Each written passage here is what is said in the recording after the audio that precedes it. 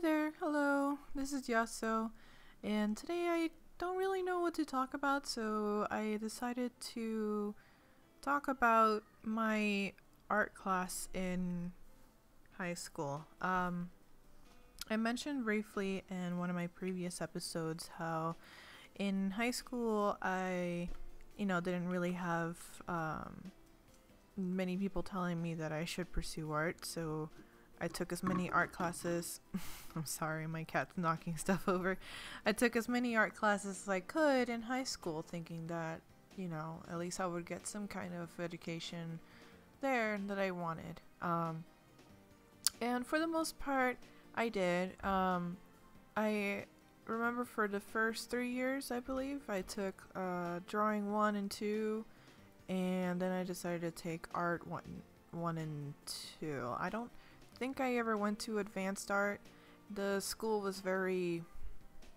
It it it, it told me I was a sophomore, but then I it also told me I was a junior. It told me I failed a grade, but also it told me that nah, I just I, I'm still going. I don't know. The the school that I went to wasn't that great. Um, and that was the first high school I went to. I went to all four years in that one, and then I went to a school uh, in another state, you know, further on, and um, or to finish my my senior year. But anyways, I'm going to talk about specifically one teacher. We had two art teachers in my first high school, and um, they both taught like several levels of art classes. I remember there was like there were a lot of art classes in my school, but even though there were only two teachers, and uh, so it ranged from like drawing, which was like pencil and paper, to art, which was like acrylic paints, and then there was like portfolio art, I think, or something like that. There was AP art, and then there was pottery as well. Um, and that that was that was basically it. Um, but there there were like levels of that. So there was like you know pottery one, two, art one, two, uh, advanced, uh, AP, whatever. So I remember specifically uh, my drawing classes were okay. They weren't they weren't too terrible. The teacher um, was more focused in teaching us how to uh, not really draw from still life, but still like study perspective and um, different forms of drawing style. I guess like you know not not necessarily cartoons or anything like that, but like different kinds of shading and this and that with pencil and paper. Um, in art, and I think this is where the majority of my friends and I had the same class, if not the same teacher. Um, in art, we we had we had to paint. We had to uh, use uh what is that called? Pastels? Yeah pastels. We use pastels on like dark paper and stuff like that. And this one teacher um who did all of the basically what i what i would consider the creative art classes this teacher she was we'll call her horse lady because i don't really want to call her out like in my other video. Um, i didn't call her out but i didn't I, I still don't want to call her out because I, I don't think it's fair to call out people um, specifically in, in videos. I don't want any shade. But um, if uh, if you go to my old high school, you know exactly why she's called Horse Lady. And to all my friends who might be watching this, um, you know who exactly who I'm talking about. But anyways, so Horse Lady, um, she herself was a pretty pretty good artist, I guess. Um, she did show us some of her examples, some of her work from, I guess, college and like, you know, previously that week or whatever. And they were mostly just, you know, still lives and um, uh, figure drawings and and you know figure, uh, just sketches and stuff that she took from like one of those uh, classes where you will have a nude nude model and and all that. Um, but she was she was very on one one day she would be totally like, "Oh, art is subjective. It can be anything. Sure, cartoons can be art. Anything can be art. Blah blah blah." And then like the next day she'll just be like, "No, cartoons aren't art. Like drawings aren't art. Paintings, figures, like, you know, the the the big guys, like they knew how how to create art. That's real art." And so I grew up thinking like I, I had those you know a couple of years with her thinking like well shit like if if what I like to do isn't art then what is it? Like what am I gonna do? Like what what do I go to school for if what I'm doing right now drawing on this paper isn't considered art? Is it like I don't know, like web design. What the hell is it called then? Like cartooning? It's not cartooning. I, I, I don't think so. Am I supposed to be a comic book artist? Like what what am I supposed to take away from this?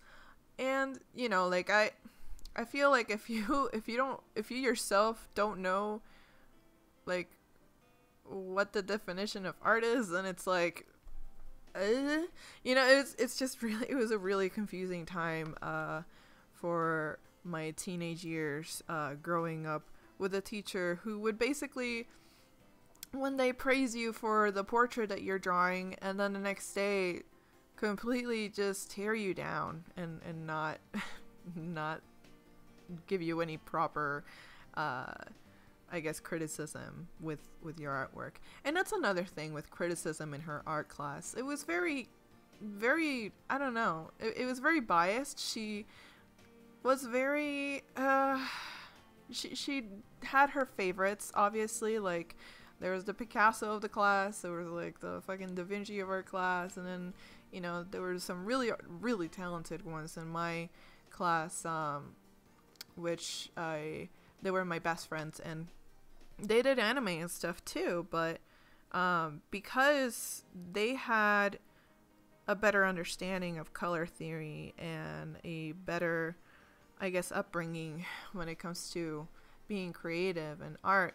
Um, I'm not necessarily saying that they, they had a better life than I did because you know we're we're all different, but um, you know they had they had better better color theory. They they knew how to use these materials better than I did. So you know whereas my things were cartoonishly and and you know just looked like anime crap, like there's there's were masterpieces basically to her because they were able to use the materials. And what I wanted to learn was that. How do how do I paint? How do I like how do I think of colors and this and that? And um you know it's still life. Sure you can learn from that but um I don't I don't know. It's just for some reason like the way that she taught it was just not proper. She was always she was always critical of anyone who wasn't like these other students. You know what I mean?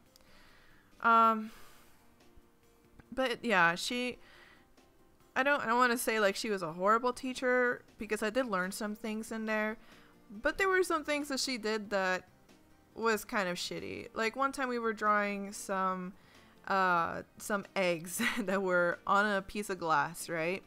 And so I'm sitting like in the second row of the students because we were all circled around it and whatever. And I'm sitting like almost in the second row. I'm sitting behind one student and I'm drawing whatever.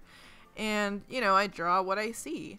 And she, like, she got on my case because I did not add blue to the bottom of the egg. I added white. And I was like, I- I'm sorry. I really, I don't see any blue there. Like, what blue are you talking about? Like, I see like stark pure white because the egg is white. And she went on and on about it and it's just, just like well maybe you should get some glasses or you're not gonna get a good grade. Sorry my cat meowed. Um yeah. What? What do you mean if i need to get glasses in order to get a good grade? Do you have any idea how much glasses are? And you know i i wasn't poor like my family wasn't poor, but we weren't really that well off either. So for you to sit there and tell a student of a public school to go get glasses because you're gonna fail if you don't. That's kind of bullshit, don't you think? Like, what? What? And that's that's probably like one of the worst things that she's ever done to me. Um, aside from like, you know, one day being totally supportive of the way I draw to the next day completely just blowing me off, you know? Um yeah, that's like she the only thing I can ask for for a teacher is to be consistent. You know, don't blow off your students if they want to try a certain style because honestly, like what are, what are you even supposed to like if you're trying to teach them a specific style? That's not really I don't know. It's art classes are such a weird thing to me because you know, you I think self-taught is better, but also I think you should go to school so you can have the experience of trying other things and I don't know, man. I don't know. Um, but after that, I had uh, I had a teacher in my second high school, and um, she was like the complete like opposite of my teacher in my previous school. Like, she was the sweetest most patient, most angelic. I, I love her. I don't I'm so sorry I don't remember her name, but she's the reason why I love uh, museums and going to museums and looking up references and stuff because she was one of those teachers who you know, wanted her students to express themselves freely. Like, do whatever it is that you want, whatever style it is that you want, as long as you expressed yourself and you put it down in paper and showed the world, then that's all that she could ever ask for. And I thought that was like the kindest way to teach art in a way that it wasn't intrusive and forceful. You know what I mean? Like with my previous teacher, she had a very, very strict idea of what she thought was art, and she didn't really give us many options on like you know referencing or looking up other stuff she the the second teacher i had actually took us to a field trip to a museum a, an art museum which is something that i don't think was even an option in my previous school like the the the the the field trips that we ever had in my previous school were like super expensive so i i was never really able to go. But for this one like my teacher was just like yeah whatever like 20 bucks or something like let's just go to the art museum for a day and and we'll we'll see like we'll just write about our experience there and it was a blast. It was like the the best time i ever had in an art class. Um whereas this other teacher like she just she just had so many classes and so many students i think that she just couldn't focus. Like she just she she wanted one it was just one way or, or no way. And um I can't really fault her for that. I think that was just a system fucking her over, and um, and and indirectly fucking everybody else over, all the students over, because I feel like only a select handful of kids actually like learned something from her class and took something from her teachings. Um, and that was probably the AP classes because, you know, if those AP students like pass with flying colors, then you're considered a great teacher. Or something like that. I don't know. Anyways, I've been rambling for long enough. Um, this is something that I didn't really have scripted or anything or written down. I just kind of went with it. And uh, I hope that it didn't go on for too long. Um, I guess moral of the story, if you can take anything away from this, is that um, you know, cut your teacher some slack um, just because they hate your artwork doesn't mean that they hate you. It's just that they have a specific thing in mind and unfortunately they can't teach it to everybody and they have too many students and um, if you're lucky enough to go to a school where you know there are fewer students then you might luck out and have a great teacher like i did in my second school because the graduating class on my previous school was like a billion, and this one was like a little itty bitty class. But anyways, um, I'm gonna go. I will continue making these videos. Uh, uh, I can't really think of any more topics, but if I do, then I might make more voiceover videos. But who knows? Um, thank you for listening. If you want to follow me anywhere else, I'm on Twitter, Instagram, Facebook, all that stuff. All the links will be down below. And um, yeah, keep doing what you like to do. Don't forget, just pick up that pencil and do it. Don't let anybody stop you. Because the only person that's stopping you from drawing is yourself, like I say in every freaking video.